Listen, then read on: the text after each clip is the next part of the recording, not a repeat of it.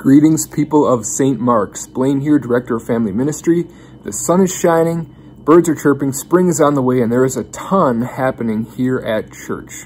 For this video, I've narrowed it down to three things. Number one, this Sunday, March 12th, we're going to be singing a new song in worship. It's called Fountains by Josh Baldwin, and there will be a link attached to this message if you want to listen to that song before we sing it on Sunday. Announcement number two, for high school youth, or if they're not watching, families of high school youth, we are going on a mission trip this summer, June 24th to 30th, to a camp in Michigan.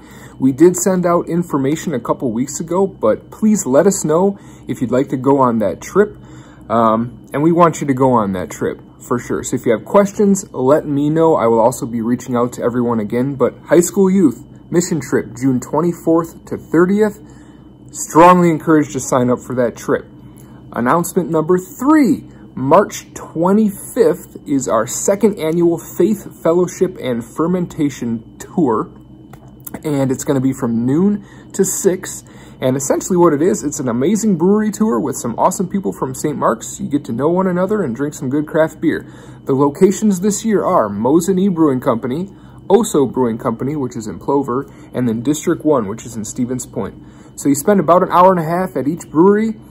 Like I said, it's a great time to hang out with people. Last year was a blast. We look forward to this year. So if you want more information on that, you can call Amy Smet. Her number 715-409-0213 or she is going to be selling tickets this Sunday, March 12th in the narthex, and tickets are just $15 a person. So look for Amy in the narthex this Sunday at worship.